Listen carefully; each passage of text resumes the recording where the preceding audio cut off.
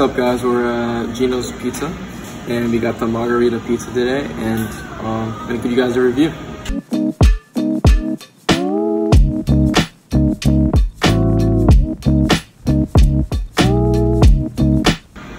Very cheesy, a little bit of hot um, temperature, you know, but I would give it a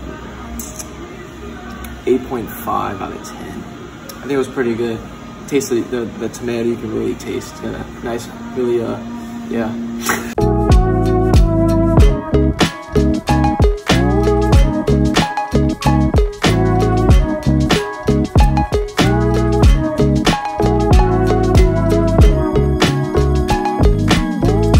Alright guys, what's up?